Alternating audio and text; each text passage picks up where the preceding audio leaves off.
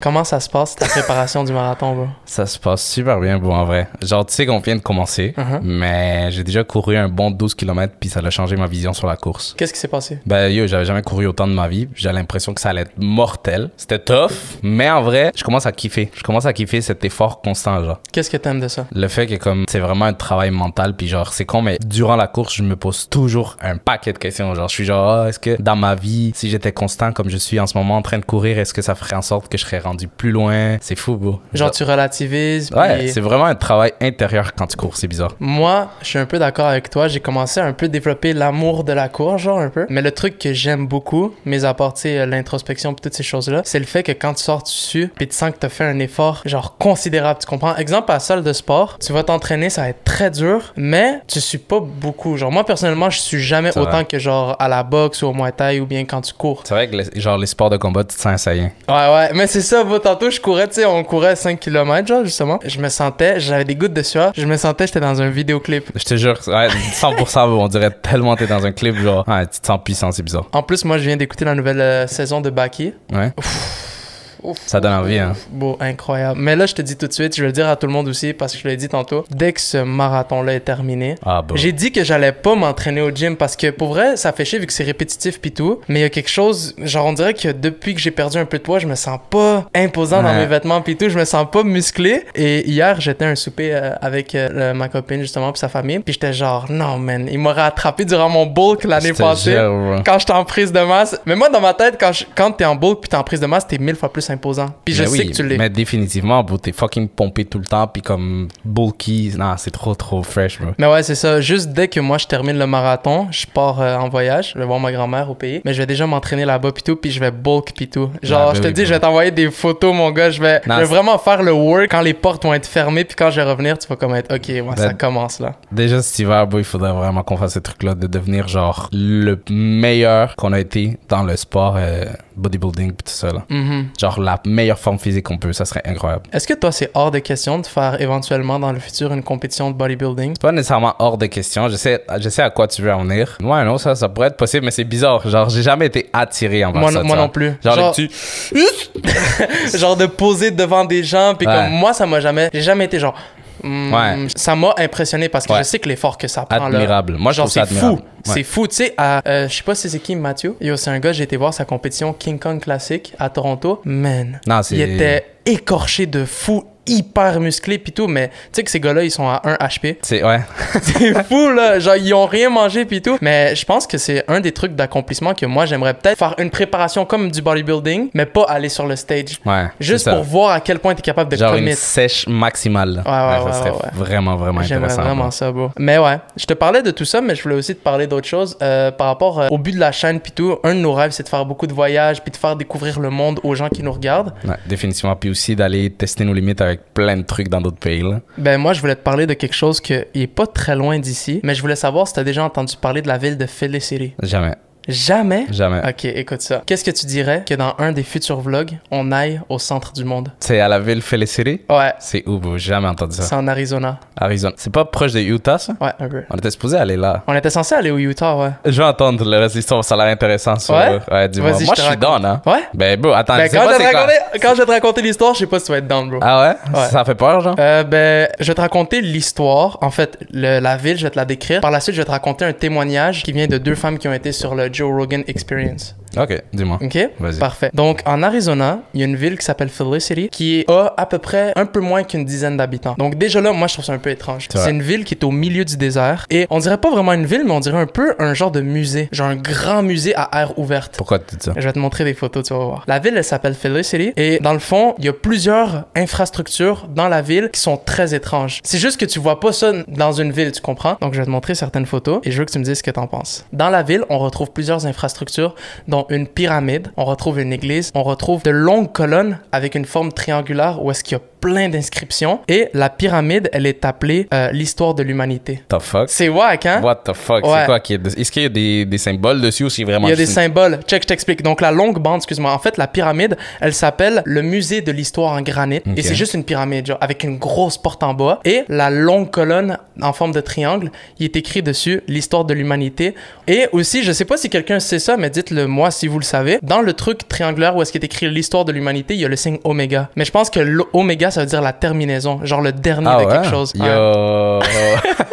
ça, c'est fucked up. Mais tu sais, c'est quoi oméga? C'est le signe comme ça? Ouais, le, le genre de ouais, ouais. Ouais, ben ça c'est le signe qu'il y a dessus. Mais je vais te montrer, check, je vais tout te montrer. Et il y a aussi quelque chose de vraiment bizarre, c'est un escalier circulaire qui mène nulle part. Ça, ça, tu sais qu'il y en a un à Montréal, hein? Ah ouais? Ouais, proche de où on travaillait avant, c'est un genre de petit escalier, puis ça mène nulle part, genre juste une petite plateforme en haut. C'est bizarre, mais je veux voir duquel tu me parles. Ça, c'est la ça ville. ressemble. Ça c'est la ville de Felicity vue d'en haut. Fucked up. Non, ça c'est weird, bro. Et au milieu de la pyramide, il y a ça ici, le centre officiel du monde. Fucked up. Non, ça c'est bizarre, bro. Ça c'est vraiment bizarre. Ça me fait penser aux pyramides d'Égypte. Ça me fait penser à tous ces gros monuments qui ont comme un certain lien avec la cosmologie et tous ces trucs-là. Là. Bizarre, bro. Mais en fait, pourquoi je te parle de la ville de Felicity, c'est parce que Joe Rogan, tu sais c'est qui? Le commentateur UFC, lui qui possède le Joe Rogan Experience. Ouais. C'est le podcast numéro 1, genre partout Mais oui, dans le monde. Je sais, t'inquiète. Dans l'épisode numéro 1983, il a invité deux femmes, une du nom de Kim Kong-don et une autre du nom de Sarah Wayne Shank. Et ces femmes-là, ils ont eu une expérience dans la ville de Felicity. Ah ouais? Ouais. Explique. Donc, je vais t'expliquer tout ça, ok? Ils roulaient en voiture, ils partaient de Californie, ils voulaient revenir là où ils habitaient et ils ont passé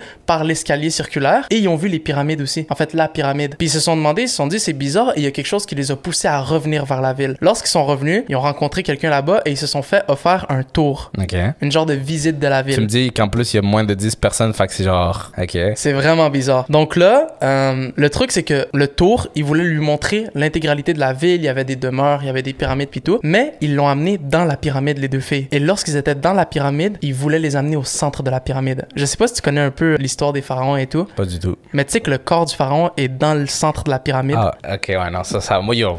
Ça fait peur, Moi, hein? jamais que je les suis, là. Mais check, check. Non, mais dis-toi que c'est les gens étaient habillés bizarrement et eux, comment ils décrivent ça, c'est comme un peu une secte. Et lorsqu'ils étaient au centre de la pyramide, euh, il y a une vieille dame qui leur a dit mettez-vous au centre de la pyramide et faites un vœu. Par la suite, vous allez signer ce contrat-là. Un- Quoi?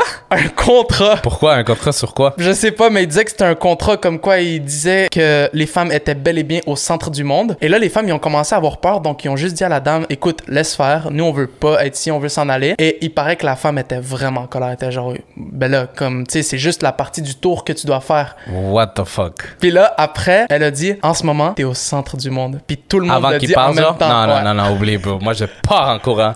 Genre que tout le monde le dit en même temps. Nah. Elle a dit ça, elle a dit, en ce moment, t'es au centre du monde. Puis quand elle a dit t'es au centre du monde, tout le monde le dit en même temps, tous les habitants. Horrible. Horrible. En fait, en fait, cette ville-là, apparemment, selon les dires des filles, parce que là, c'est des théories, la ville a été fondée par un enfant Rothschild et a été nommée pour sa femme Felicity. Ah ouais? Ouais, et que c'est une culte qui a très peu d'habitants. Et selon les dires des femmes, il y a eu un policier qui est parti pour investiguer et il est jamais revenu. Puis maintenant, il fait partie de la culte. Yeah, what the fuck, bro. T'en penses quoi? the fuck? Ça me fait penser à un film que j'ai vu juste le trailer. J'ai entendu parler un peu sur TikTok. C'est une fille qui arrive dans un genre de hum, colonie de vacances. Un peu, un peu un truc comme ça. Mhm. Puis le gars, quand elle arrive, il est genre, oh, bienvenue chez toi, nanana. Puis à la fin, genre, comme elle l'est pognée dedans, dedans ce culte, genre. Ça me fait penser à ça. Puis c'est un genre de petite communauté et tout ça. Je me rappelle pas du nom du film, bro, mais non, c'est trop fucked up. Moi, jamais je vais mettre les pieds là-dedans, finalement, Ça, ça bro. tente pas qu'on aille. Finalement, euh, non, bah t'es fou. genre vite fait de passage peut-être, mais est-ce que c'est genre loin? Parce que le truc avec ces zones-là, genre l'Arizona, le Utah, tout ça, c'est qu'il y a des endroits qui sont éloignés sa mère, genre. Ben, il y a une autoroute à côté, mais c'est au milieu du désert. Mais c'est ça, c'est genre il y a pas des grosses villes proches comme ici, genre Montréal, Québec. Tu sais, des fois t'es dans le champ puis des trucs comme ça, mais still, là-bas j'ai l'impression que si tu roules une ou deux heures, des fois tu peux être éloigné de tout, genre. Que si quelqu'un décide de te kidnapper, de te faire tout ce qu'il veut, t'es stuck. Fait que non, je sais pas. bon. Genre de passage vite fait, mais j'ai l'impression que l'auto va, va avoir un problème comme par hasard. Puis là, on doit aller cogner pour demander ah de l'aide. non, non, non, non, c'est ça, oublie, bro. Fucked up. Donc, c'est ça que t'en penses. Tu voudrais juste passer de passage, mais tu voudrais pas qu'on aille justement visiter puis faire le tour. Toi, tu voudrais? Ben, en fait, je vais t'expliquer quelque chose. Moi, quand j'ai vu ça au début, j'étais comme, what the hell? Je vais absolument parler ça dans le pod. Puis je trouvais ça incroyable. Puis j'ai fait un peu de recherche. Et ces femmes-là ont eu la chance d'aller sur le Joe Rogan Experience, qui est le podcast de Joe Rogan. Mais je sais pas si ce qu'ils disent, c'est de la merde. Parce que j'ai retrouvé sur Internet plusieurs personnes qui ont signé le contrat et qui sont corrects. C'est ça, c'est plus genre un truc comme ah certification de que t'as été dans le centre Ouais, du monde. exact. C'est ça que genre- je vois aussi, tu vois. C'est un certificat d'authenticité comme quoi tu as bel et bien mis tes pieds au centre du monde ce jour-là qui a été attesté par une personne, tu comprends? Ou peut-être qu'ils ont signé leur, leur pacte avec le diable puis ils le savent pas. No, they did it! Je sais pas. je sais pas si c'est ça, mais s'il y a une chose qui est claire, c'est que cette ville-là est extrêmement bizarre. Ah, le fait qu'il y ait une pyramide comme celle-là. Et moi, je trouve qu'il y a un seul moyen de savoir qu'est-ce qui se passe, c'est d'y aller. Tu Non, voudrais y pas- aller? Non, t'es fou, Mais là, tu commences à me hype. la vidéo. Non, t'es tu commences, malade à, tu ou quoi? commences à me hype, no cap. Mais moi, j'ai envie d'y aller, mais si on y va. Mais j'ai peur. Déjà, non, attends, si on y va, on a un caméraman, on fait un live 10 minutes avant de rentrer, puis on dit écoutez, on est là, nous, s'il y a quelque chose, c'est là. Genre, envoyez l'armée, envoyez l'armée. Si dans 30 minutes on fait pas de live pour dire qu'on est good, c'est parce que ah c'est chelou, mais après on va revenir cloner comme Kanye West, bro. C'est ça le bail. Non. T'as vu, bro, c'est qu'on sait jamais. Moi, ça c'est un truc qui me terrorise, c'est que souvent on se dit ah ouais lui il est allé là-bas pour prouver qu'il y avait rien de bizarre. Mais qui dit que c'est pas euh, un clone là Ouais. Mais moi, de toute façon, ils peuvent pas me cloner, bro. Pourquoi? Ben, la science, bro. Tu penses qu'elle peut cloner mes pieds? Ah ok, c'est vrai que ça c'est once in a lifetime, bro. Mais c'est bizarre comment la, la ville est faite. Tu sais, c'est- il y a vraiment plein de. Ben, check, c'est genre, comme ici, là-dessus, il y a plein d'inscriptions. Il y a une église au Ah. bout, bout, bout. Ça fait peur, bro. Shit, je Ça sais fait pas. vraiment peur. Mais moi, dès que c'est un truc de culte, dès que c'est un truc de genre des gens qui essayent de, Ben, de te garder avec eux, qui Ouais. t'empêchent de t'en aller, moi, ça, ça me met la pression. ouais. Ouais. Communauté, euh, comment on dit ça, bro? C'est comme les tribus, genre, je sais pas exactement c'est quoi le mot en français, mais comme vraiment éloigné de tout, séparé de tout, puis comme, je sais pas comment dire, c'est pas exclusive, mais c'est genre réclusive, un truc comme ça, genre. Je sais pas. Ouais, non. Moi, je suis analphabète, bro. on est analphabète, bro, définitivement. Ça, c'est un truc que ce serait bien amélioré, bro. Non, mais ouais, on va s'améliorer. Ah, on va s'améliorer, définitivement. Avec le temps, là. Tu me dis que le centre du monde, il se trouve en Arizona, c'est ça? Selon la théorie, ouais. Est-ce que tu sais qu'est-ce qui se trouve proche aussi de l'Arizona? Utah. Utah, mais aussi Cal- Colorado. On Colorado. était supposé aller, ouais. Ouais. Puis, yo, maintenant que je vois le vlog qu'on allait faire, si on avait raconté toutes ces histoires-là avant d'y aller, ça aurait été incroyable. Parce qu'on serait allé voir un peu en personne, tu comprends? Mais moi, véridique, véridique, si on fait des vlogs comme ça, genre exemple, tu sais, le grand JD, il va dans des trucs genre hantés pis tout, moi, j'ai besoin qu'il y ait une personne qui nous filme parce que j'ai besoin de mes, mes deux points si je dois run un fade avec un, avec un, fantôme ou quelque chose. Définitivement. Genre, moi, je te dis, si un fantôme me part après, je vais courir, mais s'il me met dos contre le mur, je, je Ouais, me oui. bats de toutes mes forces. Yo, bro, fucked up. Mais c'est ça, genre, comme je te dis, Colorado à côté de l'Arizona. Mhm. Pourquoi je te parle du Colorado? Est-ce que tu savais que l'aéroport de Denver, la capitale du Colorado, c'est le lieu de rencontre des Illuminati? J'ai entendu parler de quelque chose de bizarre. C'est un gros statement, hein. Je sais que, check ça, ça va être sur le TikTok. Je sais que les gens vont nous démonter dès qu'ils vont lire, dès qu'ils vont entendre cette phrase-là. Mais oui, il y a plein de théories sur cet aéroport-là. Une des principales raisons, c'est parce qu'il est rempli de symbolisme sa mère, genre. Ah ouais? Abusé. Il y avait eu plus vers les années 2010-2011. Maintenant, c'est plus le cas parce qu'ils l'ont enlevé justement à cause de toutes comme les réclamations, puis le fait que ça crée de la polémique. Il y avait des muraux, bro, étranges. Genre, il y avait des muraux proches de l'endroit où on récupère les valises d'un homme, un genre de soldat, qui fait penser déjà à un soldat nazi, qui domine le monde. Tu vois là, une traînée comme d'enfants, de pauvreté, de personnes comme dans la misère et tout ça. Mhm. Fait que là, tout le monde a commencé à se faire des, des idées de domination, New World Order, comme d'habitude. En plus, ça, c'est une des preuves que moi, je trouve vraiment tirée par les cheveux. Mais quand tu regardes le placement de toutes les pistes d'atterrissage et tout ça, ça fait penser un peu au symbole Svatika. Tu sais quoi? Ah ouais? C'est la. Le symbole nazi. Ouais, c'est ça. Après, genre, c'est très, très tiré par les cheveux. Je vais mettre les images quand même sur la vidéo YouTube, mais c'est très, très tiré par les cheveux. Genre, on voit un petit peu. Bref, ça finit pas là. Ça, c'est vraiment comme la partie superficielle. Un des plus gros symboles de cet aéroport-là, bro, puis que ça fait réagir tout le monde, c'est la statue qui se retrouve devant l'aéroport. Est-ce que tu sais de quoi je parle? Non. Je vais te présenter Blucifer. Déjà, le nom, fucked up. Je sais que c'est un peu con, genre Blue, euh, c'est un peu con. Mais Lucifer, un peu, euh, ça fait penser au démon. Mais en fait, c'est le nom du démon. Check la, la statue qui se retrouve devant l'aéroport, bro. Elle a pas les yeux rouges. Ouais, là, les yeux rouges. Moi aussi, je me suis dit, la- j'ai eu la même réaction que toi, bro. J'étais genre, non, mais yo, ils ont rajouté les yeux rouges, genre, c'est un démon. Il, elle a les yeux rouges. Tu sais, qu'est-ce qui est encore plus fou par rapport à cette statue-là, bro? C'est quoi? Tu sais, qu'est-ce qui est encore de plus fou par rapport à cette statue-là? Dis-moi. Le créateur de cette statue-là, il est mort à cause de la statue. Pourquoi? Pendant qu'il était en train de l'assembler, tout ça, il avait déjà créé comme les grosses pièces. Il y a une pièce qui lui a tombé dessus puis qui lui a coupé une veine importante sur la jambe, fait qu'il est mort de perte de sang. Ouais, ça l'a alimenté de fou bro, les théories sur cet aéroport-là, puis sur cette statue-là en particulier. Mais t'es sûr que c'est les vrais yeux? 100%. 100%, bro. Ouais, ça fait peur, Justement, une des raisons comme quoi lui a expliqué, c'est qu'il y avait un moment où il y avait un, un de ses chevaux qui était rentré dans sa maison pendant la nuit, puis Puis lui était allé voir c'était quoi les bruits, tout ça, puis il avait vu des yeux rouges. Après, avec la statue, c'est pour ça qu'il les a fait rouges. Mais en soi, bah, c'est. Non, moi je trouve ça fucked up. En plus, est-ce que ça te fait penser à quelque chose de la couleur bleue?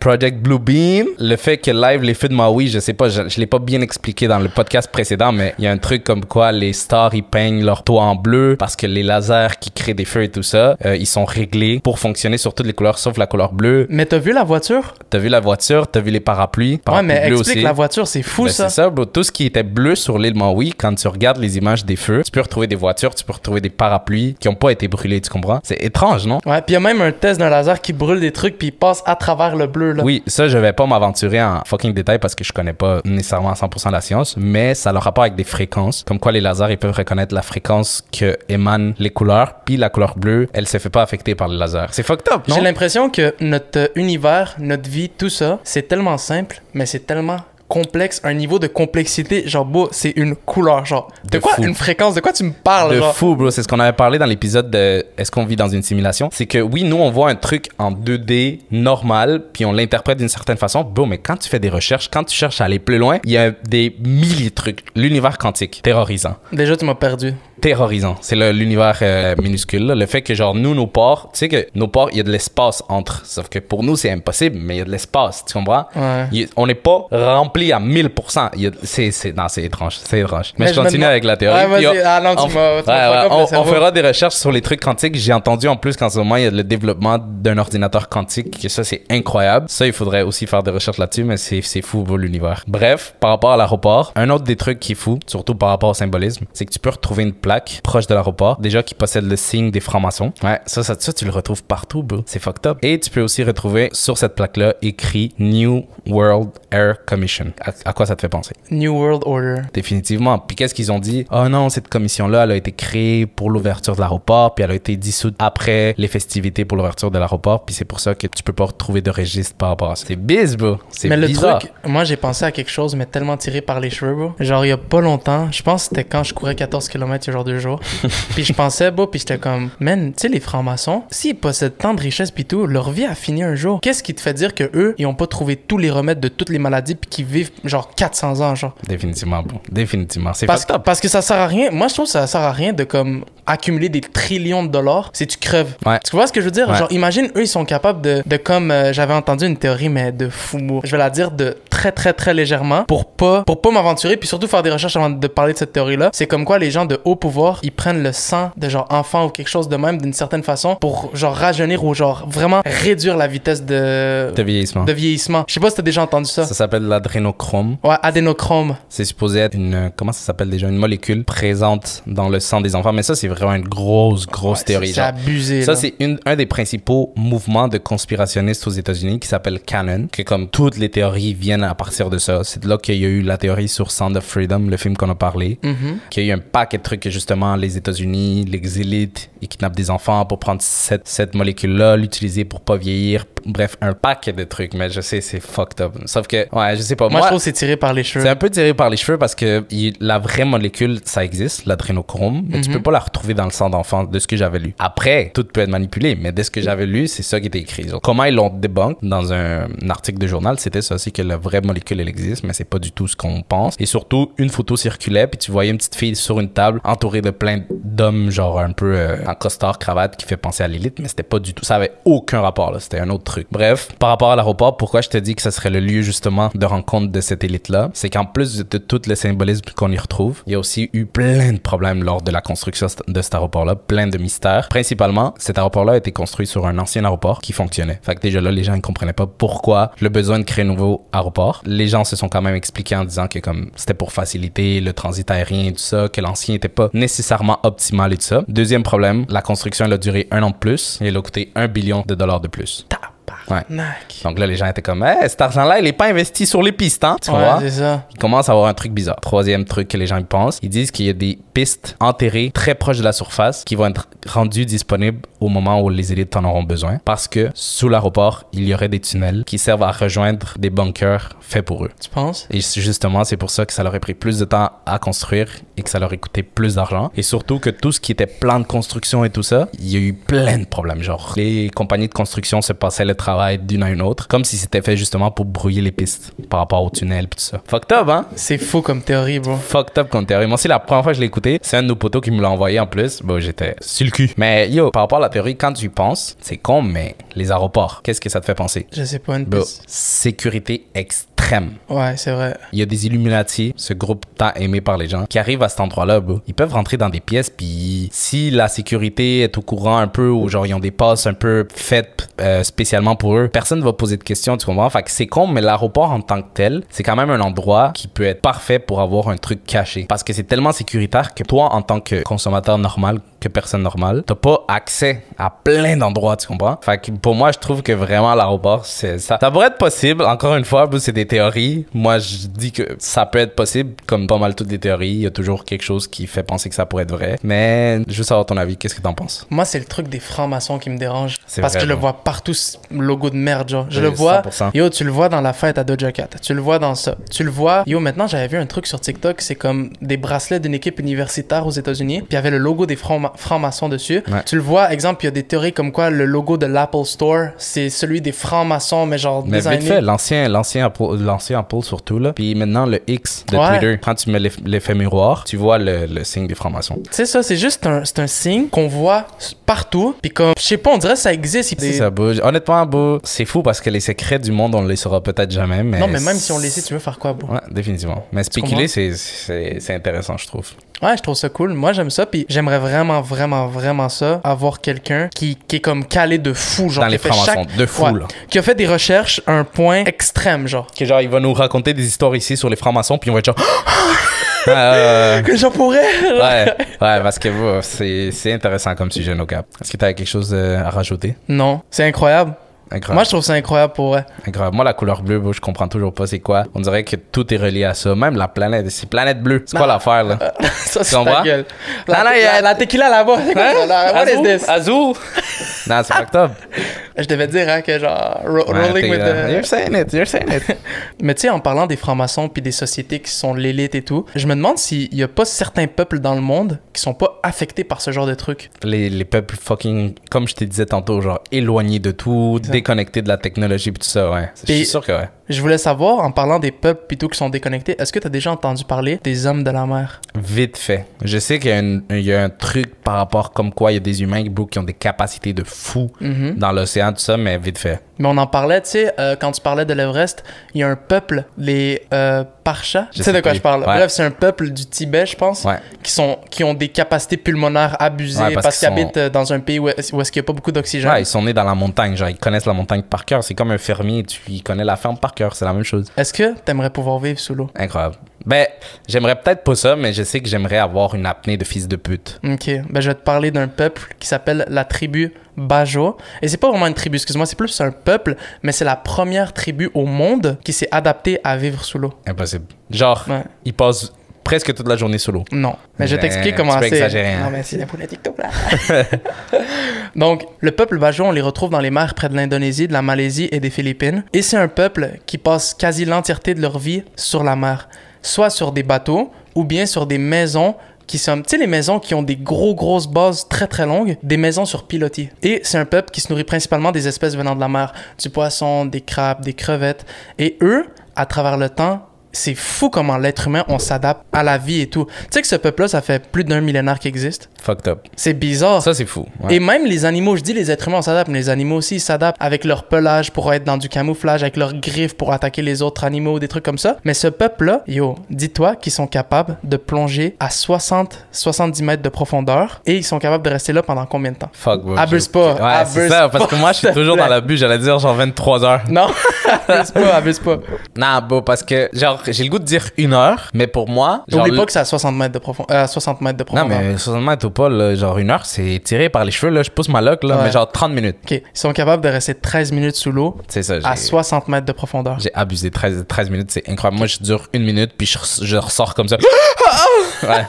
Mais oui, ils sont capables de rester 13 minutes sous l'eau. Et devine qu'est-ce que ce peuple-là fait pour pouvoir justement s'aider avec la pression. Ils percent leur tympan. Impossible. Ouais. Ils percent leur tympan afin de mieux balancer la pression de l'eau sous la mer. Mais ils entendent quand même ou? Ça crée des problèmes Ouais. au niveau de l'audition, puis ça crée des problèmes aussi avec certaines infections vu qu'ils utilisent des outils qui sont pas stérilisés, mais c'est quelque chose qui en vaut la peine selon eux. Ouch, bro, se faire percer les tympans. En plus, je sais qu'ils ont pas anesthésie, là. Ouais, mais tu sais que c'est un peuple élite. Je Genre, c'est un peuple élite. Tu sais ce qui fait. Tu sais, c'est quoi l'organe qui fait en sorte qu'ils sont capables de rester aussi longtemps sous l'eau? J'ai aucune idée. La rate. Là, c'est un truc ici, non? C'est un truc ici. Mais moi, je comprends déjà juste pas de base de quoi tu me parles 13 minutes sur l'eau, sous l'eau. Genre, je sais pas c'est quoi le record mondial de l'apnée, mais bro, je sais qu'eux, ils vont pas sous l'eau juste pour faire, euh, genre, faire de l'apnée, là. Ils vont sous l'eau pour chasser, Exact. ils se promènent et tout ça. Fait je sais que l'apnée en soi, tu peux en faire longtemps, mais parce que tu restes sur place, tu bouges pas, puis comme ça facilite un peu l'exercice. Mais bro, ça, là, yo.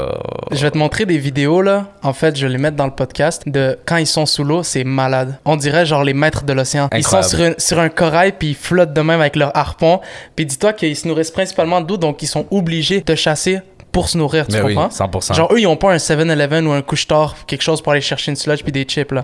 c'est de la nourriture qui vient principalement de la mer. Puis ce qui est fou, c'est que cette tribu-là a tellement évolué à travers les années que ce n'est pas seulement les plongeurs qui ont une rate surdéveloppée. La rate de ce peuple-là est 50 fois plus grosse que les humains normaux. Fucked up. Puis dans le fond, la rate, je sais pas si c'est quoi, mais ça régularise dans le fond ta production de globules blancs puis l'oxygénation des globules, des globules rouges, excuse-moi, pas blancs. Donc eux là, ils ont une capacité de fou et même les enfants l'ont. Ça, c'est fou. Moi, ça, je trouve ça fou. Qu'est-ce que tu as dit tantôt, le fait qu'on s'adapte autant? Moi, c'est con parce que je suis genre, je vais commencer à m'entraîner comme ça. Mon, mon kid, il va être comme ça dans la- quand il va naître. Zéro. C'est à travers des générations et des ça, c'est générations. des générations, générations. Genre, s'ils continuent comme ça, dans plusieurs années, ils vont pouvoir pratiquement toujours être sous l'eau. Tu veux savoir de quoi qui me fait chier? Quoi? Des fois, je me dis, j'aurais aimé naître à une époque ou bien dans un autre pays où est-ce que la vie est très difficile, comme ça, tu deviens un monstre, genre, tu deviens extrêmement fort. Genre, exemple, Khabib Nurmagomedov. Ouais. Genre, quand il était jeune, il se bat contre un ours. Ouais, ok? obligé. Genre, il court dans les montagnes, ce gars-là, mais c'est une machine, genre, il peut tuer n'importe qui, tu comprends? Ouais, c'est des mondes différents. C'est des mondes différents. Mais c'est vrai, moi, j'ai toujours eu cette réflexion. Puis ça serait intéressant qu'on qu'on fasse un podcast là-dessus différent ou un live où on parle avec les abonnés de genre, de genre réflexion sur la vie comme ça. Genre, le fait que, comme, quand t'es issu d'un endroit difficile, c'est con, mais ça te rend plus fort. Puis quand t'es dans un endroit en quelque sorte facile comme nous, qu'on est quand même privilégié d'une certaine façon, c'est difficile, genre, aller chercher plus parce que t'es good, t'es dans le confort. Ce qu'on a parlé pour le marathon, c'est étrange. L'être humain veut rester dans son confort, mais tu sais, tu dis que nous, on est privilégiés. Est-ce que tu sais qu'il y a une tribu en Afrique, que les enfants de 15 ans, ils protègent les, les moutons puis leur bouffe de lions? C'est ça. Ben, c'est ça, bro. Mais justement, parce qu'ils sont pas privilégiés de base, mais ils deviennent des putains de monstres, là. Non, mais parce que eux, si, si le exemple, euh, le lion il tue leurs moutons, ils ont plus à manger, genre, ils ont Ben, plus de moutons, ça. donc ils se défendent. Genre, moi, je te jure, bro, tu me donnes un pistolet, tu me mets dans une cage avec un lion, je me chie dessus quand même. même si j'ai une arme de poing, genre, tu comprends? C'est vrai, parce qu'on n'est pas habitué. C'est une question d'habitude, bro. Non, mais moi, je sais pas, mais genre, ça me fait chier pour vrai. Ça vient me chercher. Qu'on soit vient faible? Ça vient me chercher qu'on soit faible. Ça vient me chercher parce que. Ça vient me chercher parce que je me dis qu'à une certaine époque, les êtres humains, on chassait des estis de mammouth. Hmm, ça, c'est bizarre. un être cinq, humain- cinq humains contre un mammouth. Ouais. Avec des, des, des, des trucs, là, des lances. Pas des guns, là. Moi, live, comme t'as dit, tu me donnes un. live, tu me donnes un AK-47 contre un mammouth, je m'éteins, bro, je me cache. C'est con. genre, on est pourri. Genre, j'entends le. chier. Je m'éteins. nah, bro, c'est triste. Non, ça me fait chier parce qu'on est pourri. Parce que, genre, Khabib et d'autres personnes, ils peuvent courir dans les montagnes pendant genre un mois. Moi, tantôt, le 5 km, j'étais. C'est vrai, bro. Fuck. Non, ça fait chier, bro. Genre, j'aimerais ça, pour vrai, j'aimerais ça et je vais faire tout mon possible. Non, Dans non, non, je pense que le marathon, ça va être l'opportunité pour moi de renaître. Ouais. Parce que je sens, je sens que je suis déjà mieux que, on va dire, une certaine moyenne. Genre, je fais vraiment des efforts pour m'améliorer dans plein de choses. Puis je sens que le marathon, ça va être l'opportunité pour moi de renaître. Parce que si je l'accomplis, je vais me dire, OK, j'ai accompli ça, j'aime, j'aime le niveau d'inconfort, maintenant Mm. je veux plus, mais je veux vraiment être quelqu'un qui peut pousser ses limites, puis pas aimer cet inconfort-là, mais le tolérer, tu Bro, comprends? C'est pas une blague. Quand je faisais le marathon, je me disais, merde, est-ce que j'ai poché autant de cours dans ma vie parce que j'étais un connard et je sentais que comme j'étais dans le confort, pas besoin nécessairement de travailler fort et tout ça. Check live. Genre, si j'arrête pas de travailler, je vais réussir ce putain de marathon. Si j'arrête pas de travailler dans le podcast, on va le réussir, le putain de podcast. Si on n'arrête pas de travailler dans tout ce qu'on fait dans notre vie, on va le réussir. Tu vois, c'est fucked up. Puis on va pas être. Mais c'est beau. Définitivement, définitivement. Non, non, bro, c'est grave. Il y a pas longtemps que j'ai fait un rêve. Il y a pas longtemps, j'ai fait un rêve. On faisait un vlog en Afrique pour le podcast. Ah, j'ai rêvé que j'ai chassé un lion, bro. Non, Mais c'est un oublie. esti de rêve. C'est un petit cap surtout, bro. Impossible. Là. Non, bro, c'est justement, justement, grâce à ce podcast, je veux qu'on puisse, ben, grâce à cette chaîne YouTube, je veux qu'on puisse faire ces trucs-là. Là, on commence avec le marathon. Je veux qu'on se mette dans des situations de merde pour qu'on s'adapte et on grandisse et on devienne fort. Parce que, bro, comme t'as dit, oui, on va au gym, on a essayé, on a dépassé, genre, peut-être moins live, mais à un certain moment, on était à fond puis on était vraiment bon et tout. Mais moi, je vais être plus que bon, là. Je veux. Genre, moi, la phrase, le TikTok qui m'a changé, puis c'est con, parce que c'est un TikTok, Chris, avec un animé en arrière et de la musique, mais c'est le truc qui dit It is a shame for a man. Nanani, je sais plus le reste. Tu veux que je te dise? Tu veux que je te Ah, dise? Dis-le parce que en anglais, je vais fuck up, mais en français, je l'ai, vas-y. It is a shame for a man to grow old and not see the potential of his body ou quelque chose de It is a shame for a man to grow old without seeing the beauty and strength of which his body is capable. C'est ça, c'est quelque chose de même, exactement. Ouais. Mais c'est hyper. Genre, comment Bon. l'animé est fait, c'est parfait aussi. C'est hein. une honte, c'est vrai, c'est une honte pour un homme. Puis là, on n'exclut pas les femmes, mais juste c'est une honte pour un homme de ne pas aller chercher le full potentiel de son corps. C'est wild, c'est 100% vrai, bro. Shit. Genre, moi, je veux me voir à mon max. C'est quoi que je peux aller? Au moins une fois dans ta vie. Ouais, définitivement, bro. Genre, te voir puis genre faire wow. Genre, je suis fier de ce que j'ai réussi à construire moi-même, tu comprends? Exactement.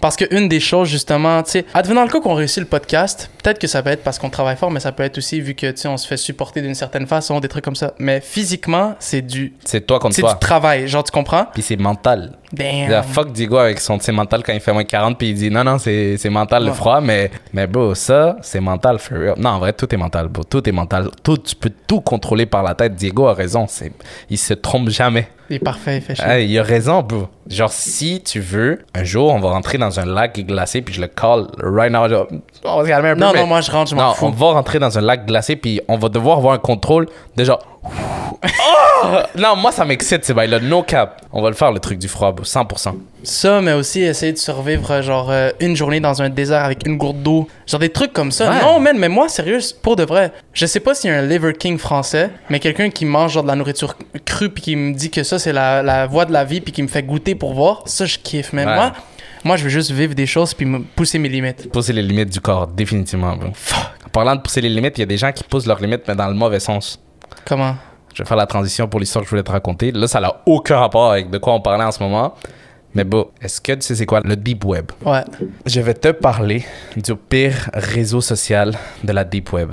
c'est quoi? C'est les Red Rooms. Voilà. C'est le pire réseau social. Ça fait penser à YouTube. C'est une sorte d'endroit où tu peux mettre des vidéos, tu peux live stream, tu peux créer des trucs horribles. Mhm. Et justement, là, tu connais le Red Room. Est-ce que tu connais, est-ce que tu connais Daisy Destruction? Daisy Destruction? Non, mais son nom, je pense, je sais un peu c'est quoi. C'est horrible. Hein? Ouais. Dans le nom, tu comprends tout de suite que c'est des trucs poussés au maximum dans, Dans le gore et tout. dans le gore. Ouais. Ouais, c'est quoi? J'avais entendu sur cette histoire-là quand j'avais genre 13 ans. Ça m'avait changé. No cap, ça m'avait changé. C'est une vidéo qui a été commercialisée à à peu près 10 000 la vidéo. Ouais. Sur cet endroit. Je pense que c'était vraiment dans le temps avant. Fait que 10 000 c'était énorme. C'est pas comme là. J'ai vu ta réaction. Puis je sais à, à quel point dans les Red Rooms, tu peux trouver des prix astronomicaux. Ouais. Parce que dans les Red Rooms, tu peux décider le sort des victimes que tu vois en live stream. Ça marche euh, par un système de host. Si tu veux être le host, tu dois payer co-host, puis tu dois payer juste pour rentrer. Exactement. Tu as des frais pour rentrer. Tu as des frais si tu veux vraiment être celui qui gère Mhm. et qui décide le destin de la personne. Daisy Destruction, ça s'est passé. C'était un gars qui dirigeait ce truc-là. Puis c'est des trucs atroces qui ont été faits sur trois petites filles par une autre madame. Une madame qui est justement le résultat d'un trafic sexuel de base. Ça, ça s'est passé aux Philippines. C'est un gars australien qui a créé un truc qui s'appelle No Limit Fun qui se retrouvait sur les Red Rooms. C'est horrible. Mais moi, j'avais déjà lu une histoire d'un Red Room que c'était un homme qui capturait, euh, je pense que c'était en Europe, il capturait des itinérants. Puis il vendait justement le service de host ou bien co-host ou bien invité. La monnaie de ces choses-là, c'est tout le temps de la Bitcoin, cryptocurrency. ouais.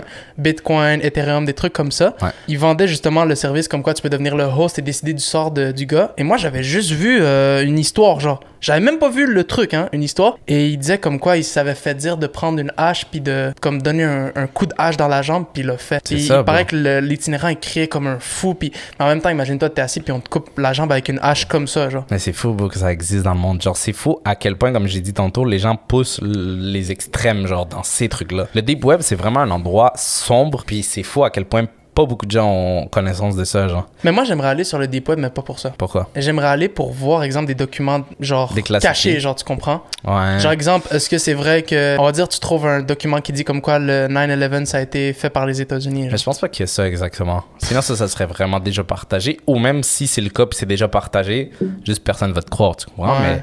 Mais ouais, je comprends ce que tu veux dire. Mais c'est juste étrange. Moi, moi, ça me terrorise d'aller sur cet endroit-là. Je me rappelle, il y avait un, mo- un moment, justement, le même YouTuber qui a raconté cette histoire-là la première fois que je l'ai écouté. Il racontait un truc comme quoi, sur le Deep Web, il y a une photo que tu peux retrouver, genre sans faire exprès nécessairement. C'est une des photos les plus dégueulasses que tu peux voir de ta vie. Puis c'est un gars, c'est dégueulasse. Genre, c'est dégueulasse. C'est un gars qui étire son son, son as, genre, mais tellement, puis il est tellement, genre, ah, que tu vois à l'intérieur, genre, tu vois les, des, genre, legit les organes, plutôt, c'est dégueulasse. Ah, ouais. C'est tu- impossible de voir les organes, là. non, mais tu vois un peu, genre, Son intestin. ouais, Ouais. c'est horrible. Fait que, ouais, tu peux tomber sur des trucs comme ça sans nécessairement faire exprès, tu comprends? Fait que c'est pour ça, moi, je prendrais pas la chance. Ça, Mais-. Mais tu sais, c'est quoi les services hein, qui sont offerts sur le dark web, deep web? Ben, il y a, il y a de tout. Il y a Tu sais, du c'est quoi? euh, Hitman. Ouais. Il y a vraiment de tout, je Ça, c'est bizarre. Tu, Mais- peux, tu peux engager un assassin, Ouais. puis c'est. Yo, pour genre tuer un homme politique, c'est que c'est tellement cher. Mais j'espère, bro, le risque est C'est genre incroyable. du là. 500 000, là. Mais non, moi, je suis sûr que c'est plus, bro. Bon, moi, j'avais vu une fiche de prix. Je sais pas si c'était fake, mais j'avais vu une fiche de prix, puis comme pour un, un- un- quelqu'un normal, c'était genre un 50 000, je pense. Moi, je comprends juste pas comment ça fonctionne. Genre, ok, tu payes quelqu'un 500 000 en moi, un bitcoin, c'est vrai, j'avais oublié. Ben oui. C'est fou comment ça Parce que tu peux pas le trucs, retracer, hein. c'est sur le chain, blockchain. Ça facilite vraiment les trucs, c'est bizarre. Moi, je pense que c'est le futur. Ouais, c'est le futur d'une certaine façon, mais ça permet aussi de faire des trucs horribles comme ça. là. Ouais, mais la plupart des gens sur le deep web, justement, il y avait eu une interview qui s'est passée en France d'un gars qui est masqué avec des lunettes de soleil puis un chapeau. Puis genre, c'était un gros hacker là-bas. Et il avait expliqué comme quoi sur le deep web, la majorité des gens, ils vont pour prendre des cartes de crédit, Ouais. pour faire plein de transactions, genre fraudeuses. puis Ben oui, pour acheter des trucs et les revendre. Ouais, je pense que c'est quand même assez rare les, les gens qui vont dans des red rooms, des trucs comme ça. Non. Je pense que c'est comme un plaisir qui est pour l'élite parce que ça Ouais. coûte crissement cher. Red Room, peut-être, mais il y a des réseaux de. Il y a des réseaux de vraiment plein de trucs Oh horribles. my god, je voulais te parler de quelque chose. Dis-moi. Tu m'en parles. Tu sais, les prédateurs, là. Yo, tu sais qu'il y en a énormément dans le monde. Je sais qu'en ce moment, parce qu'on on a le même On partage compte le même compte euh, Change Je sais que t'as une, une euh, joie, un plaisir à voir ces prédateurs se faire prendre. Je sais pas pourquoi, Beau, j'ai une vraie joie. C'est agréable. No cap, c'est agréable parce que tu vois qu'ils comme ils voulaient vraiment réussir leur coup, c'est dégueulasse. Ouais. C'est pas ça qu'on dirait qui me fait du, du plaisir, c'est de voir comment il essaie de s'en sortir. Genre, pourquoi il pense comme ça? Pourquoi il fait ça? Puis là, le gars, parce que les gars, ils lui posent des questions. Ils lui posent des vraies questions. Ils sont genre, à quoi tu t'attendais, genre? Ouais. Puis là, il est genre, ah, ben, je voulais juste lui parler. Puis Ouais, tout. Puis il dit, yo, tu sais que c'est une fille de genre 12 ans, genre? Puis le gars est genre, ah, ouais, je sais pas ce que je pensais. Puis comme, après, je me dis, ok, ces gars-là, s'ils partent en prison, ils se font ravager, genre. Mais oui, mais, mais c'est parce que, check, moi, c'est un truc, déjà, je comprends pas, OK? Mais il y a une fille qui l'a dit dans un de nos commentaires euh, sur YouTube. Elle nous a dit, l'idée de la castration, c'est une bonne idée. Tu en avais parlé, tu te rappelles, tu avais dit pourquoi tuer les personnes en prison quand tu peux les castrer si c'est des P-words. Mais le truc, c'est que c'est pas juste un truc sexuel, c'est aussi un truc psychologique en soi. Fait que tu vois, même si tu fais ça, c'est un truc psychologique, c'est un truc, un genre, une genre de maladie mentale, la pédophilie. C'est une maladie mentale. Mais c'est surtout, ben, je pense que c'est une maladie mentale. Je vais pas parler comme Ouais, si je suis un ça, docteur. je pense aussi. Mais c'est surtout hormonal. Tu comprends? Tu penses? Si demain je te castre, tu vas voir un modèle devant toi, tu vas t'en foutre. Parce que t'as juste plus la testostérone, tu comprends? Je le sais, mais Genre, tu- c'est pas juste un désir sexuel, il y a un truc plus dark que ça, tu Ah, mais comprends? dans ce cas-ci, man, je suis désolé. Peut-être je suis personne pour dire ça, mais dans ce cas-ci, euh, Ouais, envoyez-les au, don- au donjon. Non, prison, bro. Prison. Quand tu l'as dit l'autre fois, moi, je trouve qu'on est personne pour décider la mort de d'autres personnes. Fait Ben c'est ça, envoyez-les au donjon. Non, ok, je pensais que, ben... Non, au donjon, prison. Finito, Moi, là! j'aurais dit euh, fusillez-les. Mais ouais, bro. c'est fou, ça. Ouais, c'est- moi, ça me, ça me rend fou. Ça me rend fou que ça existe. Puis ça, c'est un des plusieurs réseaux sociaux que tu peux trouver sur la, sur la Deep Web, mais il y en a plusieurs d'autres. Les humains sont bizarres. C'est vraiment bizarre, On est mais très, très fort. ouais. La, la Deep Web permet trop de trucs, pour mon avis. Je sais même pas comment ça fonctionne, ce truc-là, à quel point c'est protégé, puis que tu comme... Je sais pas, c'est étrange. Il paraît que c'est le Far West. C'est quoi la chose que t'aimerais le plus voir? T'as pas un truc qui te rend curieux de base, genre? Genre en toute franchise, là. Moi, moi, les trucs gore, ça me dérange pas. Ah, c'est que moi, ça m'écœure quand c'est sur un moi- être humain, là? on en a déjà parlé, puis on a déjà checké, des, tu montrais des images, moi ça me dérange pas. Je sais pas, j'ai vu trop de trucs, justement, genre peut-être je vais vous raconter l'histoire pour ceux qui connaissent pas, mais Lucas Rocco Magnotta, le dépaisseur de Montréal. Toi, t'as écouté la vidéo quand écou- jeune? J'ai écouté la vidéo quand j'étais jeune, vraiment jeune. Ça, ça, de base, ça m'a traumatisé. Genre, je vais pas, je vais pas faire le, le gars là qui est comme ah, mais non, posé. J'ai ri, comme les gens qui disent ça après des films Ouais, d'horreur. Hey, ça m'a- traumatisé parce que j'étais un petit con de 13 ans qui était à l'hôpital avec ma mère. J'ai vu à la télé, vu que je m'emmerdais en attendant. J'ai vu à la télé le truc de Lucas Roccomagnota. Je suis revenu à la maison. Je me suis dit, ah, on va voir c'est quoi le truc qui parle à la télé. J'ai cherché. Là, j'ai trouvé qu'il y avait une vidéo. J'ai cherché la vidéo. J'ai trouvé la vidéo. J'ai commencé la vidéo. J'ai vu le gars couché sur le lit. Je me demandais, ah, mais il se passe rien. J'ai avancé la vidéo. Je suis tombé direct sur une scène de fou, genre. Je me suis éteint. Mais c'était bien filmé ou pas? non, c'était pas bien filmé, mais c'est pas une question de voir. Moi, c'est pas une question de voir plein de sang ou whatever. C'est juste une question de le froid, genre. Ça a tellement été fait dans un calme et un froid étrange que je. Ça, moi, ça m'a. Je te jure, la sensation, je peux encore la ressentir tellement ça m'a. J'ai avancé la vidéo pour parce que je me disais c'est long. J'ai avancé la vidéo, j'ai vu ce moment-là où il est en train de le genre le stab vraiment plein de fois, genre. Mon cœur s'est éteint. J'ai vraiment fait le truc genre de bébé là. J'ai fermé la page, puis j'ai fait ça. Puis je suis resté là, genre, un, un bon 10 minutes. Dans ma tête, ça a duré des heures, mais je suis resté un bon 10 minutes, puis j'étais genre, Montréal, une heure de chez moi, je suis le prochain. c'est ça, qui est con. C'est ça, qui- c'était ma façon de penser quand j'étais jeune. C'était le genre de truc comme, ah, j'écoute un film d'horreur, je, je vais me faire hanter ce soir, tu comprends? Même chose avec ça, je me suis dit, fuck, man. Moi, c'est pas ça que je me côté. dis, bro. Puis à ce moment-là, tu, tu, tu ris, tu ris. Mais à ce moment-là, le gars, il avait pas encore été capturé, hein. C'est vrai, il s'est fait attraper, je pense, en, en, Allemagne. des- Dans un café. des jours et des jours plus tard, là, ça l'a pas été un jour après, ça, c'est deux jours après la vidéo. Fait à ce moment-là, j'étais fuck, il peut être n'importe où. Ça, je pense c'est un des crimes les plus fous du 21e siècle à Montréal. Ouais, ben surtout au Canada, pratiquement, là, c'est un truc de fou. là. Je sais qu'il y a des trucs de fou dans l'Ouest, mais en soi, c'est un gros truc, là. Mais, mais je sais pas. Moi, ce, qui me, ce que j'aime pas du gore pis tout, pis ces choses comme ça, tu sais, quand on regardait sur Reddit, moi, c'est parce que je l'imagine sur moi. Ah. Genre, j'essaye de m'imaginer la douleur que la personne ressent. Puis il y en a une qui m'avait tellement fait. Oh, genre, je n'ai aucun problème à voir une vidéo d'un gars qui tombe de genre un million de kilomètres. Ah non, moi, ça, ça me terrorise. Moi, ça, ça me fait rien ça, parce que je me dis, yo, il tombe, il ressent rien. Pour moi, t'as vu, c'est tout le concept de douleur. En fait, moi, c'est l'inverse. Tu l'as dit. Moi, c'est le gore, ça me dérange pas. Quand la personne est déjà décédée puis qu'on voit genre du sang, des trucs coupés, whatever, ça me dérange pas. Quand tu me parles de voir quelqu'un vivant passer à décéder, ça, ça me terrorise. Moi, c'est l'inverse, bro. Moi, c'est comme quand il est vivant, je suis comme, il est encore vivant. Tout est chill, genre, tu comprends? Puis il ressent, il ressent de la douleur, puis ça doit lui faire mal, puis tout. Mais il y a- tu peux encore être good, genre, tu comprends?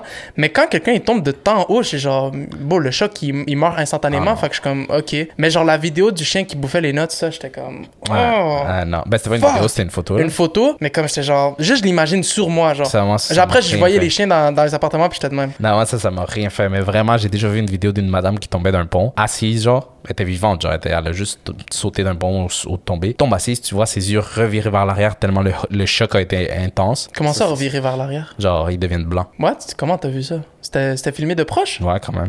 Oh shit. Puis elle a-tu explosé ou? Non, elle a pas explosé. C'est vraiment le choc. Puis genre, tombée assise, puis bam, après, elle elle tombée sur le dos, là. Mais tu vois au début un peu ses yeux revenir. Ah, ça m'a terrorisé. Eh. Ah non. Puis entendre le. Ah, ça m'a terrorisé, bro. Terrorisé. C'est con parce que des fois, je me mets sur mon étage 25e, je regarde en bas. Ah! Ah, genre, des fois, je m'imagine, genre, ok, mais si je décide de sauter live, genre, puis là, je m'imagine sauter, genre, me mettre de l'autre. Déjà, des fois, je m'imagine juste me mettre de l'autre côté, j'ai des frissons. Genre, je, je me dis, mais what the fuck? Jamais de la vie, genre, je, je me dis peut-être pour niaiser, jamais. Ah, jamais. Vraiment pas, bro.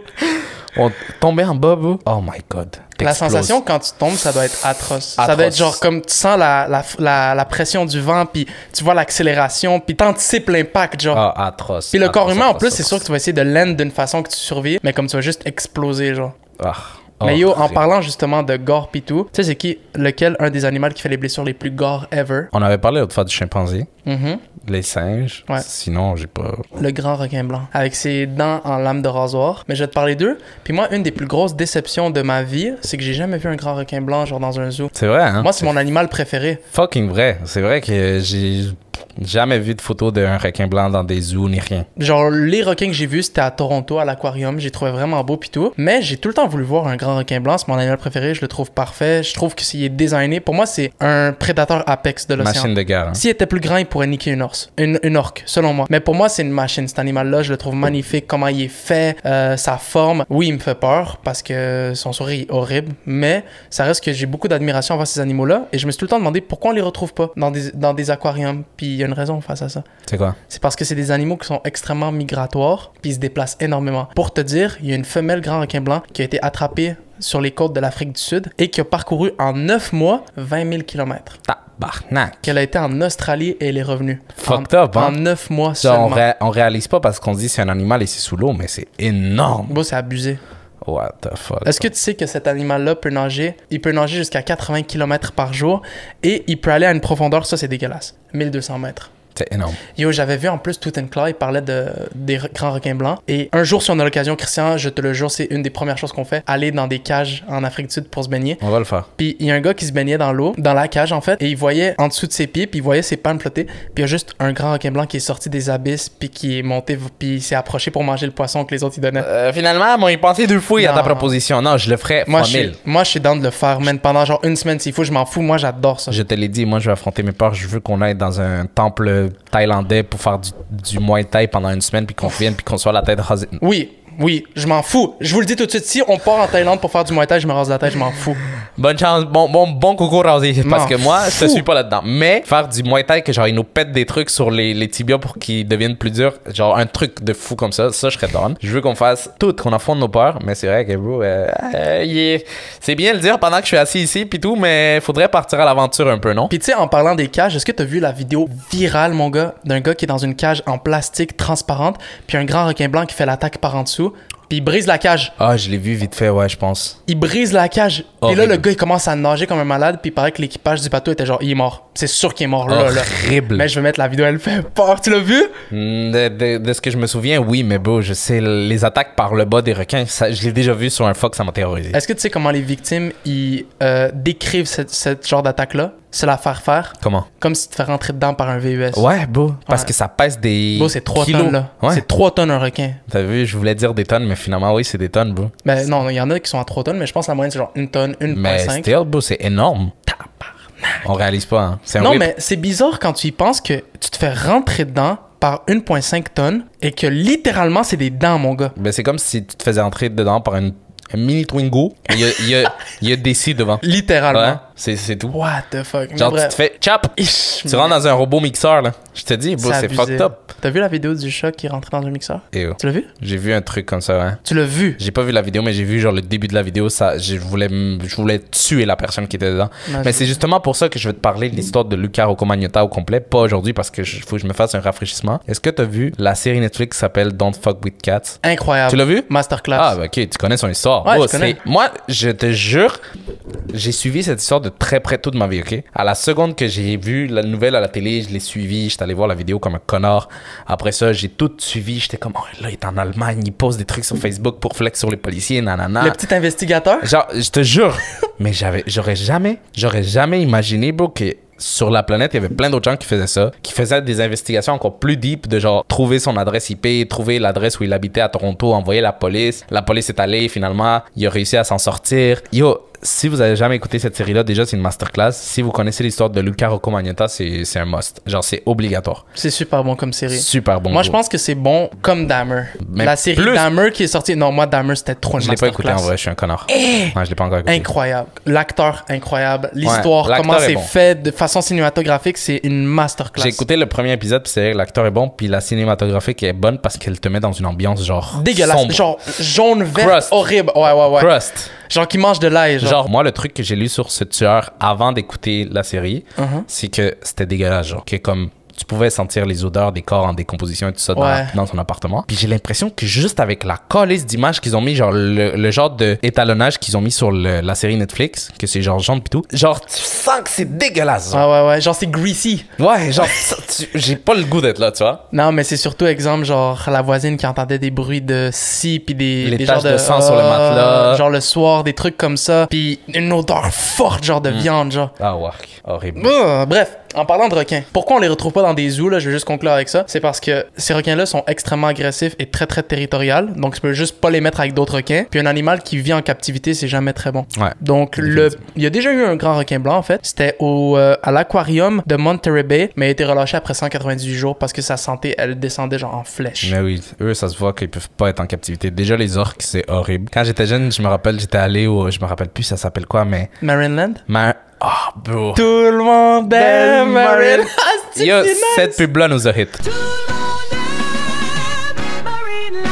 Cette pub-là nous a hit parce qu'on a décidé d'y aller. C'était incroyable. Je vais pas mentir. Genre, c'était une expérience incroyable. Pas nécessairement pour la partie animale. Oui, c'était nice voir les phoques faire leur petit jeu. Je me rappelle même pas des orques, pour être honnête avec Ah oui. toi. Je me rappelle même pas des orques, genre des avoir vus parce que live, on en parle souvent. Puis j'ai pas un souvenir d'avoir vu un orque bien, genre. Mais je me rappelle des phoques, tout ça. Je me rappelle des dauphins aussi. Fait que oui, c'était nice cette partie-là. Maintenant, je suis grand, je comprends la problématique, puis je suis contre ça à 100%. Les manèges, c'était incroyable. Mais ouais, bro, genre, même les orques, tu le sais, là, à quel point c'est horrible leur condition de vie lorsqu'ils sont en captivité. Fait un requin, je peux même, je peux m'imaginer, tu comprends? Ouais. Mais je veux pas être le défenseur de- des requins ou quoi, mais tu sais, il y a combien de requins par, par année qui attaquent des humains, Genre 4. hein? Ouais, c'est vraiment, vraiment bas. Ouais, la statistique est très basse. Nous, on en tue 100 millions.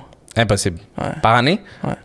Tabarnak. C'est fou, bro. C'est abusé. Moi, je trouve que c'est injuste. On les a trop démonisés. Ben, genre, demonized à cause, je pense, de Les Dents de la Mer. Puis je comprends qu'ils font peur, Chris. Genre, ils font sont peur. dégueux, mais là. c'est pas mais... ça qui les tue. Non, c'est pour les fins pis tout. Mais ça reste que. Pour les ailerons et tout. Mais ça reste que, yo, quand un, un être humain se fait bouffer par un requin, check ce qui s'est passé en Égypte. Ah, c'est un requin tigre, yo, c'est un prédateur de l'homme. C'est juste. C'est la nature, c'est comme ça. Ils ont été le 100%. péché. Nature à 100%, mais moi, ben attends. Parce que moi, ça, il y a eu des commentaires très, très intéressants par rapport à les- au TikTok qu'on a fait. Mhm. Et moi, je suis d'accord. Tu dis, ils ont été le péché, mais c'est pas une question de vengeance, bro. C'est juste, toi, si ton fils se fait manger par un requin, tu vas vouloir les restes. C'est vrai. Puis ça, ça excuse. C'est comprenable. Ouais, comprenable. Tu veux Mhm. les restes, tu veux pouvoir l'enterrer. Ok. Surtout si t'es religieux, encore plus, tu comprends? Toi, t'es allé à Maryland? Oui. Tu te rappelles des orques? Ouais, j'étais terrifié, bon. Moi, moi, les orques, je te dis, ça me fait plus peur qu'un Ah, requin de moi, très loin. Moi, je les adore, bon, mais je me rappelle plus vraiment, ça me fait un peu chier. Mais est-ce que tu as vu la vidéo de genre, c'est un genre de vidéo drone, puis ça dit le dernier orc dans le Maryland de je sais pas trop où, genre. Puis tu le vois, on dirait il nage, puis il est triste, bro. Il reste au même endroit fucking longtemps, puis tu vois juste sa tête qui bouge un peu. Mm. Ouais. On dirait vraiment qu'ils vivent dans un enfer, bro. C'est un enfer. Est-ce que tu sais qui d'autre a visité l'enfer? Non. Aujourd'hui, je vais te raconter l'histoire de l'homme qui a visité l'enfer. Ok. L'histoire commence à Maryland. Ok, what the fuck? je te jure que c'était pas prévu. C'est même pas un- une blague. Je, je viens de réaliser. Ah ouais? C'est à Maryland. À la dinguerie, en fait. Non, mais c'est à Maryland, à- aux États-Unis. L'histoire se déroule dans cette ville-là. Le 5 décembre 1999, Mhm. Clifford Hoyt, un homme âgé de 31 ans, se retrouve dans un accident de fou. Un accident sur la route de fou, là. Genre un gros accident. L'accident est tellement gros que lui, miraculeusement, il réussit à s'extriper de sa voiture et rejoindre le bord de la route. D'ailleurs, c'est comme ça qu'il a été retrouvé par un camionneur, vu qu'il était sur le bord de la route. Là, il a été ramené à l'hôpital. Bro, chirurgie après chirurgie. Il y a des bouts de métaux à l'intérieur de lui, il y a des clous à l'intérieur de lui parce que l'accident est tellement intense qu'on doit pratiquement le reconstruire. Il tombe également dans le coma pendant plusieurs semaines, mais je te le dis, bro, c'est pas la pire chose qui lui est arrivée. Une nuit, à l'hôpital, les infirmières ont été réveillées par un- des cris horribles, genre. Des cris que tu sens qu'il y a une- un massacre, genre de la torture, genre. Genre l'effroi? Ouais.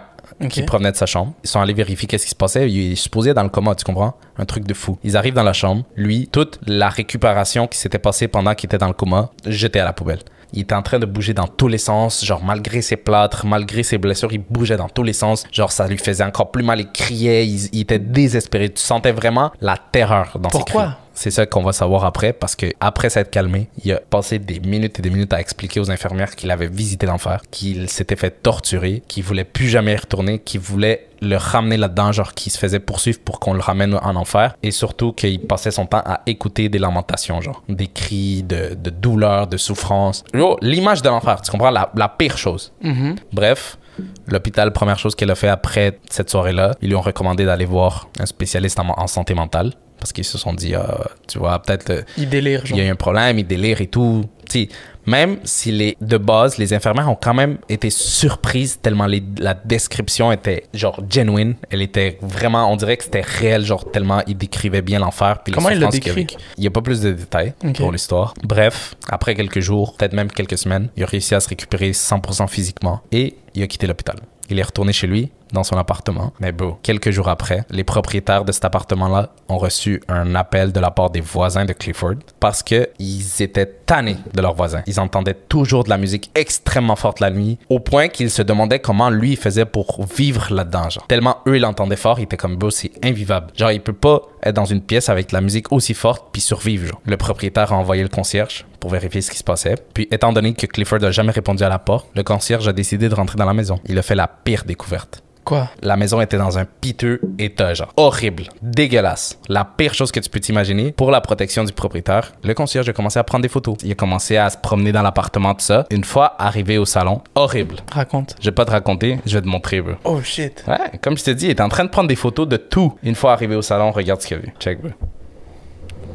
C'est une vraie photo? Ouais. C'est quoi qui prend? Ça, c'est Clifford Hoyt avec un cube de glace dans ses bras, entouré. La raison, une fois qu'il a réussi à lui parler de ça, il a vu qu'il était qui était vivant, là, qui n'était pas décédé. Clifford expliquait qu'il devait mettre la musique au fond pour éloigner les esprits, pour arrêter d'entendre les lamentations. Il disait qu'il devait prendre de la glace toujours sur lui, avoir du froid parce qu'il sentait constamment qu'il était en train de brûler. Il sentait constamment qu'il était encore en enfer, qu'il voulait le ramener là-bas et tout. Puis, c'est horrible. What horrible comme situation. Le concierge a appelé la police, ils ont, ils ont appelé euh, les services d'aide mentale, tout ça. Clifford a été intégré dans, une, dans un hôpital psychiatrique. Puis depuis, on n'en entend plus vraiment parler de lui. Il est vivant? J'ai pas plus de nouvelles. En fait, le truc, je vais te l'expliquer tout de suite, puis peut-être des gens vont faire, euh, vont avoir déjà dit quelque chose sur TikTok. L'histoire, il y a pas vraiment, on peut pas vraiment la confirmer à 100%, tu comprends? Il y a des gens qui disent qu'elle est vraie, il y a des gens qui disent qu'elle est pas vraie. Tu sais que quand ça leur rapport avec l'enfer, des trucs comme ça, il y a toujours de la spéculation. Surtout, ils ont trouvé dans le journal de Maryland l'accident en question et c'était pas Clifford Hoyt, c'était un autre nom, Jonathan Hoyt, je pense, un garçon de 17 ans, mais qui était décédé sur le moment. Fait qu'à cause de ça, il y a beaucoup de spéculations. Est-ce que c'est vrai? Est-ce que c'est pas vrai? Mais moi, j'ai pas trouvé l'origine de cette photo-là.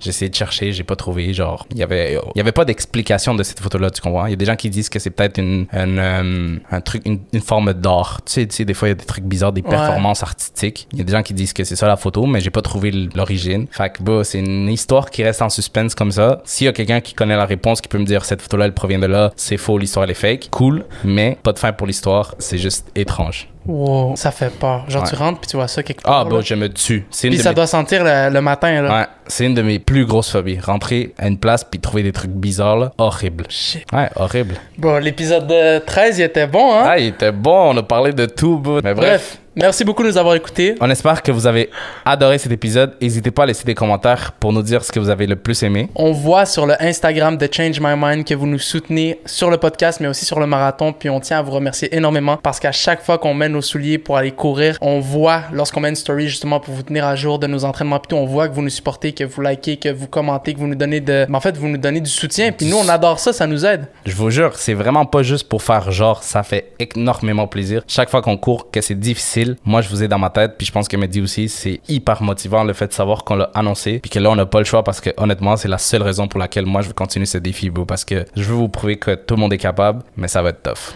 Merci encore de nous avoir écoutés et dites-nous, à la place du concierge de la dernière histoire, c'est quoi la pire chose pour vous que vous auriez pu voir? Pour moi, je pense que c'était vraiment ça. Ouais, non, définitivement, une des pires choses que tu peux retrouver. Dites-nous ce que vous avez pensé sur toutes les théories qu'on a racontées aujourd'hui, toutes les histoires. Et surtout, venez vous abonner à l'Instagram aussi parce que bientôt, ça va être le Q&A. On, on approche très rapidement les 10 000 abonnés.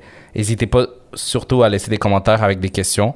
Comme ça, on va aussi pouvoir commencer à choisir. Puis on se voit la semaine prochaine. Comme Christian dit, par rapport aux questions pour le Q&A, ça va se passer en story sur Instagram. Merci beaucoup de nous avoir écoutés. On se voit la semaine prochaine pour l'épisode 14. Peace. Peace!